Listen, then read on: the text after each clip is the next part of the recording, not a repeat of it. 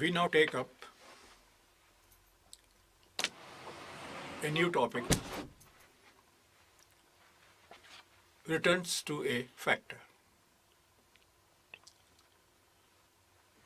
Before we explain, the first thing first, why study this topic at all? Remember, we are studying microeconomics. And in microeconomics, the main emphasis is on market. And within the market, the main emphasis is on price determination. And price determination is turned determined by forces of demand and supply. We have already studied the forces of demand in which we studied two questions about the behavior of the consumer. One was related to consumer's equilibrium and other was related to law of demand that is reaction of consumer to change in price. From demand now we shift over to supply. In supply also we study two aspects of the behavior of a producer. How much a producer should produce so that he gets maximum profit. This is nothing but producer's equilibrium. So we have a topic called producer's equilibrium which we will take up a little later. Then another aspect, law of supply. How much quantity a producer will be willing to supply at a given price or if price changes and why. Our main concern in this topic is to study one of the aspects of this uh, supply side. Let us remember how much quantity a producer is willing to supply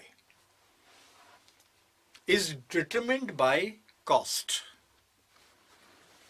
अब आप कहेंगे साहब cost से क्या ताल्लुक है हर producer का पहला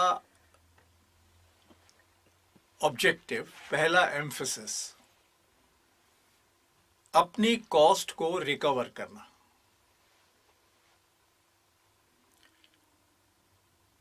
the producer determines the price at which he will be willing to sell is determined by the cost incurred by him the minimum price at which he is willing to sell would be the cost of producing the commodity because his immediate objective is to recover the cost.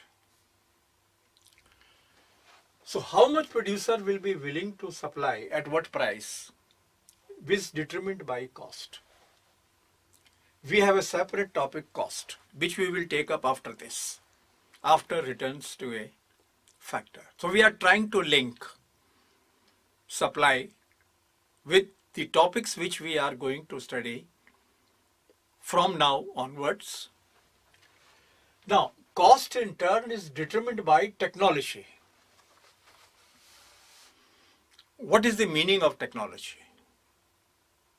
Technology simply means method of production. Method of production means combination of inputs. How much labor, how much capital, how much raw material, and so many things. The moment you change this combination, technology changes. So technology here should be taken to mean method of production. The technical name for this technology in economics is production function. It's a mathematical name also. Production function means कि production किसका function है Production inputs का function है So you can call it input-output relation. What does a production function shows? A production function shows relation between let us say change in inputs and consequent change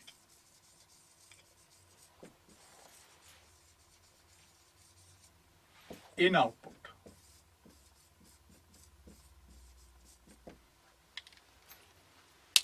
That is the meaning of production function.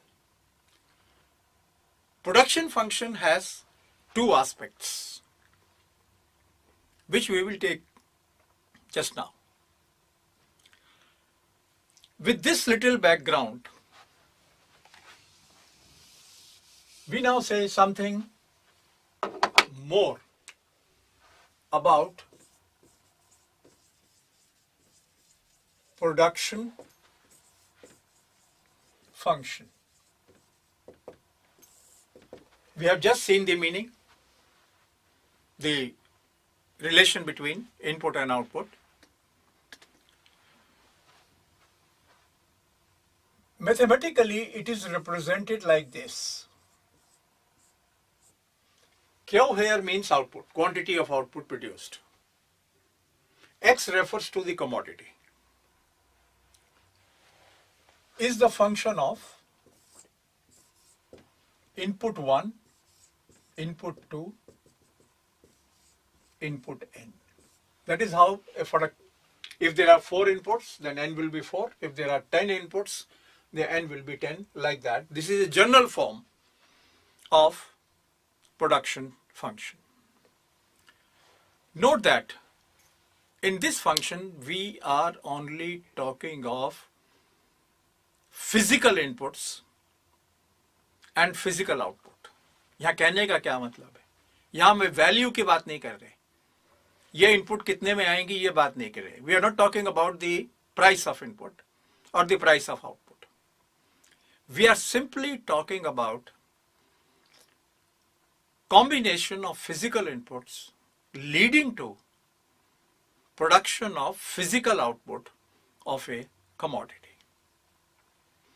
Now this production function has two aspects.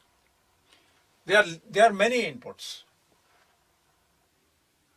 One aspect is uh, normally, you know, instead of uh, taking in this way, we take this function as capital and labor. Function of capital and labor and symbolically we call it K into L. Once again, we take only two inputs because it is our limitation. अगर हम इसको diagram पर दिखाएँगे जो कि शायद यहाँ ज़रूरत नहीं पड़ेगी लेकिन यूनिवर्सिटी लेवल पर आप जाएँगे तो हम मैक्सिमम दो इनपुट्स दिखा सकते हैं इसलिए हम नॉर्मली कैपिटल एंड लेबर दो ही इनपुट्स लेते हैं virtually all manual work mental work by people, it's taken as labor, and all other inputs like building, machinery, raw material, stock of raw material and all that, it is, it is taken as capital. In economics, we study two types of relationships. One, if only one input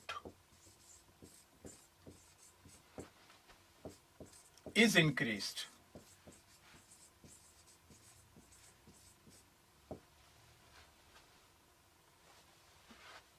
if only one input is increased. What is the change in output? This is one aspect. Since the emphasis here is on one input, we call it returns to a factor. Factor and input are same. So, here a factor means change in one physical input. Returns here refers to change in total physical output. So what does returns to a factor mean? Change in total physical output by employing more and more units of one input, the big assumption is other inputs remaining unchanged. This is the aspect which we are going to study, but I'll just mention the other aspect which we are not going to study. But without that, the two aspects will be incomplete. The other aspect is if all the inputs are increased,